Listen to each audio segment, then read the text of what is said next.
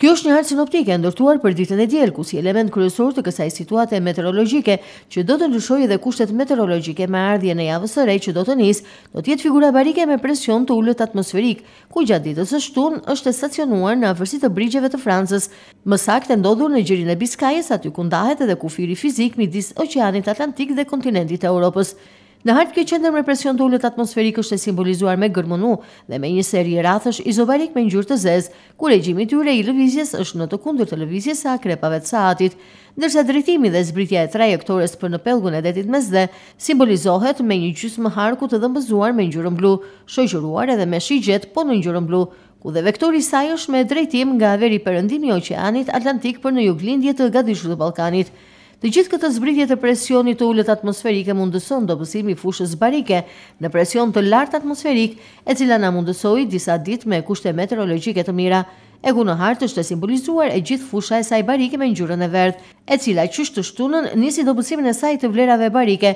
ku tërheqja nga pellgu i Detit Mesdhe është në formën e rrathëve po me ngjyrë të verdhë, ku të dy këta rrathë simbolikisht janë të emërtuar me gërmën L, si dhe me grafikën e shkruajtur në dobësim dhe në tërheqje. Ndërsa drejtimi dhe regjimi i erës gjatë pjesës së dytë të ditës së diel do të kthejë dhe fortësojë nga drejtimi jug-jugperëndim, ndërsa vendi ynë në këtë hartë është me ngjyrën e kuqe si dhe me grafikën e shkruajtur Shqipëria.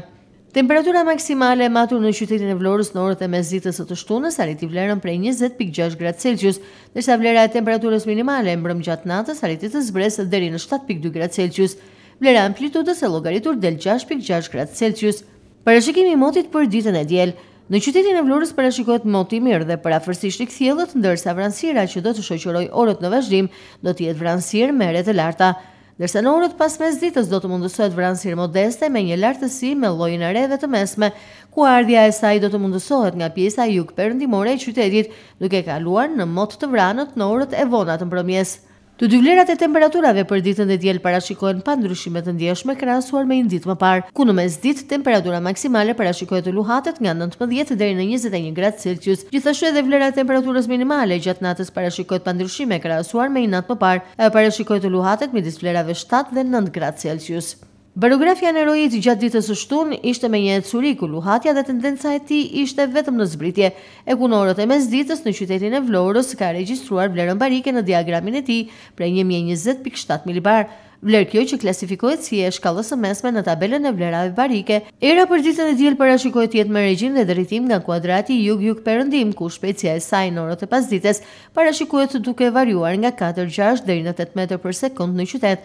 ndërsa tetë, dhjetë deri në dymbëdhjetë metër për sekondë në afërsi të bregut të detit. Valëzimi i detit për ditën e diel në orët e pasdites parashikohet në gji një deri në dy ballë dhe në det të hapur pas orëve të mesditës tre deri në katër ballë.